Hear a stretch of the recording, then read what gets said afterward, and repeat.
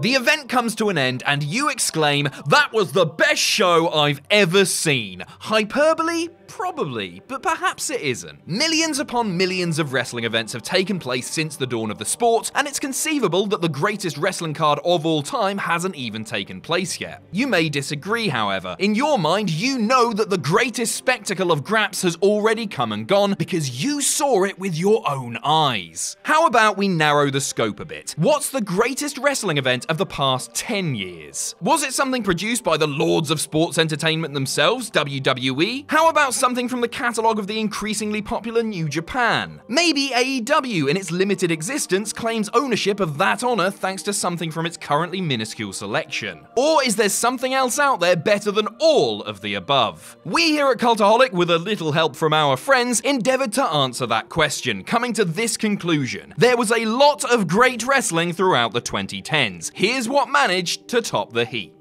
But before we get there, a few honourable mentions. WWE SummerSlam 2013, NXT TakeOver WarGames 2, AEW Full Gear, New Japan Pro Wrestling's G1 Climax 2018, and WWE WrestleMania 26. I'm Adam Pacitti from Cultaholic.com, and these are the 10 best wrestling pay-per-views of the 2010s. Join us! Number 10, Dominion 2018. Was Kenny Omega's IWGP Heavyweight title victory over Kazuchika Okada the greatest match of all time? Dave Meltzer thinks so, and he's not alone in his thoughts. The 65 minute 2 out of 3 falls match had a lot to overcome in terms of expectations, namely the prior matches between the pair. Through nuanced storytelling, off the charts emotion, and the little nuances that make good matches great and great matches legendary, Omega finally accomplished the dream, making all sorts of history in the process. That main event had to follow your typical New Japan card, which by typical we mean fan freaking tastic. The penultimate match saw another Winnipeg based star capturing gold as Chris Jericho felled Tetsuya Naito to win the promotion's Intercontinental title, and that was preceded by Will Ospreay dropping the junior heavyweight belt to Hiromu Takahashi in an equally epic encounter. Throw in the Young Bucks winning the tag team titles from Evil and Sanada in a scintillating sprint, and you're talking a Pantheon level card. And yet, it's only 10th on this list. What in the hell could be better?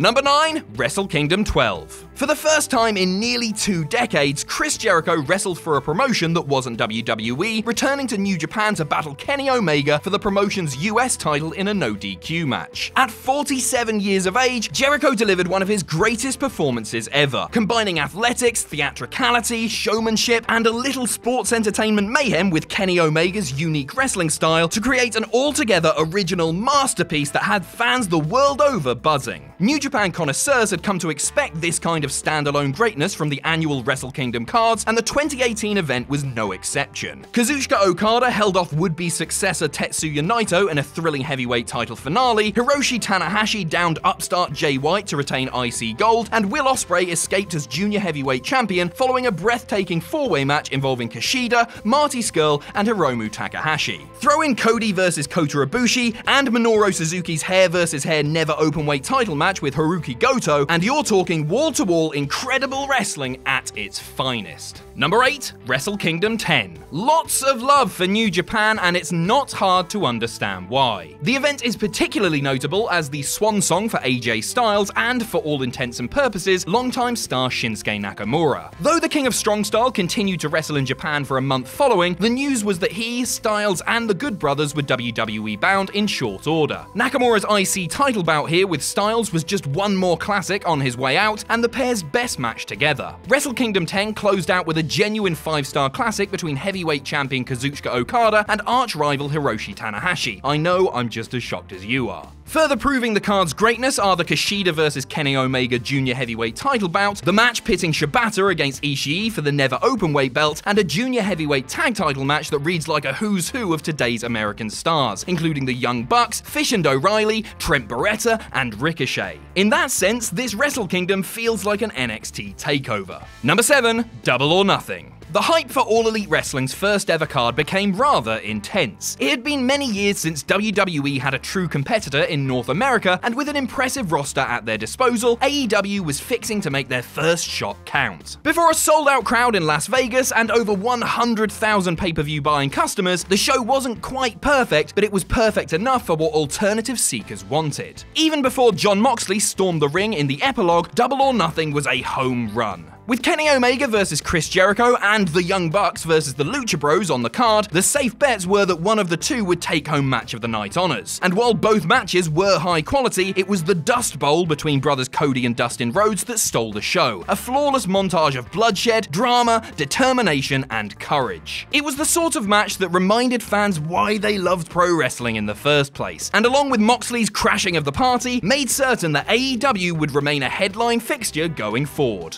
Number 6, Wrestle Kingdom 11. At the time, Kenny Omega versus Kazuchika Okada for Okada's IWGP Heavyweight title was lauded as perhaps the greatest match in the history of the business, wowing fans and critics alike across nearly 47 minutes of dramatic and highly intense action. The pair produced sequels that may have topped this apparent platinum standard, but it doesn't diminish Omega's gallant attempt at dethroning peak Okada, throwing everything he could at the wily champion, his undoing perhaps his inability to hit the one-winged angel even once across the the match's duration. Okada vs Omega capped off what you might consider a typical Wrestle Kingdom at this point, closing out with four or five all-timers in a row, living up to the event's reputation. In succession, it's Hiromu Takahashi dropping Kushida to capture the junior heavyweight belt, Goto felling Shibata for the never openweight title, and Tetsuya Naito holding off the legendary Hiroshi Tanahashi to retain the IC gold, before Okada Omega proved to be the creme de la creme. It's little wonder why New Japan's grasp around the globe got a little tighter in this period. Number 5, Wrestle Kingdom 9. If you're not a fan of New Japan, either you're sick of hearing about Wrestle Kingdom at this point in the video, or your curiosity has been piqued. And many fans were intrigued, as through a partnership with the somewhat forgotten Global Force Wrestling, this event was made available on American and Canadian pay-per-view. With Jim Ross and Matt Striker on the call, the attempt to Americanize New Japan just enough for a new audience couldn't have had a better show to start a revolution with. An undercard filled with accelerated tag team action gave way to the unexpected parade of magnum opuses at the end of the Golden Mile. AJ Styles and Tetsuya Naito set the stage for a spirited clash between Shinsuke Nakamura and Kota Ibushi for the IC title. Hiroshi Tanahashi and Kazuchika Okada closed out Wrestle Kingdom 9 with just one more legendary battle in their series over the IWGP Heavyweight title, at which point the raves came flooding in. New Japan had been flourishing for some time to this point, but Wrestle Kingdom 9 raised its profile in grander fashion, setting the tone for where the promotion is today. Number 4, All In. They said it couldn't be done. Cody Rhodes believed that a non WWE wrestling outfit could sell 10,000 tickets in North America, and he shared quite a satisfied laugh with the Young Bucks when All In sold out in under 30 minutes. In all, over 11,000 fans and many more through 50,000 pay per view buys tuned in on Labor Day weekend 2018 to witness how far pro wrestling ambition had come in its evolution. The event that birthed All Elite Wrestling was, by all accounts, a smash hit. There was classic wrestling with Cody Rhodes and Nick Aldis's beautifully crafted story that was their NWA World Title clash. There was daredevilry as the Golden Elite took to the skies with Rey Mysterio, Rey Fenix, and Bandido in a true show stealer. There was even inflated genitalia, which, to be fair, was kinda polarizing. But man, when you're busting out Kenny Omega versus Pentagon Jr. and Kazuchika Okada versus Marty Scurll, you've got your sights set on academia. But most importantly, the entire spectacle was a monument to the idea that there was room once more in the United States for wrestling not labeled WWE. And well, here we are today. Number 3, WrestleMania 30.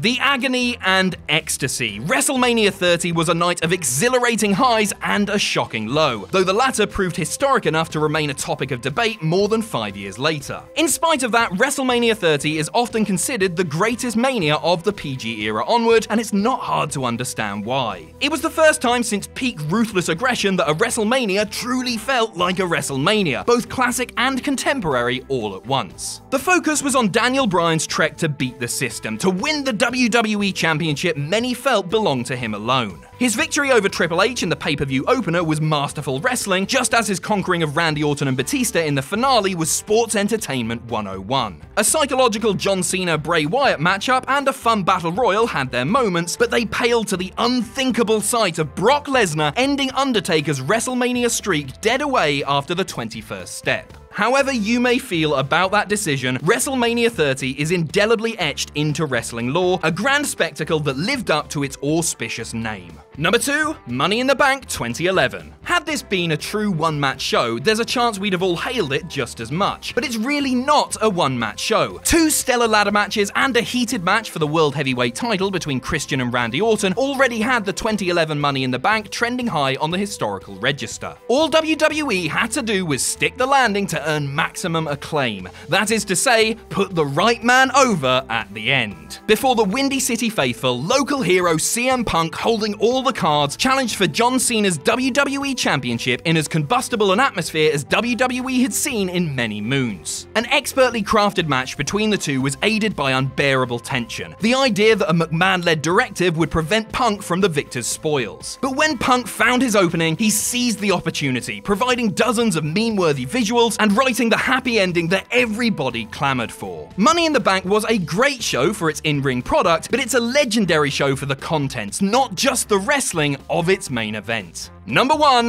NXT TakeOver New Orleans. For some, there's bound to be a shocking lack of NXT takeovers on this list, but worry not, the best of the bunch gets to sit on the throne. Expectations for NXT supercards are always high, and yet said expectations are almost always exceeded. Funny thing is, for a while, each ensuing takeover was the best one yet, Zomg! But since the curtain dropped on TakeOver New Orleans, the measuring stick has become clear. Now, the best one can hope for is the best one since New Orleans. People figured the unsanctioned fight to the near death between Johnny Gargano and Tommaso Ciampa would be great, but that great? It was everything you could want in a hate filled brawl without spilling gallons of blood. The eclectic cast that made up the North American Championship ladder match gelled far better than anyone could have wagered on, delivering a sleeper classic. Add in Aleister Black's exciting title victory over Andrade Cien Almas, and the pressure was on WrestleMania 34 to top that. Most would concur that, good as Mania may have been, TakeOver New Orleans stole the weekend, stole stole the year, and, according to us, stole the decade as well. Thanks for watching. Let us know what you think in the comments down below. You can follow us on Twitter at Cultaholic. You can find us on Facebook at facebook.com forward slash Cultaholic. If you enjoy what we do here at Cultaholic, you can pledge to us on Patreon. That's patreon.com forward slash Cultaholic. And most importantly, don't forget to hit subscribe and join us.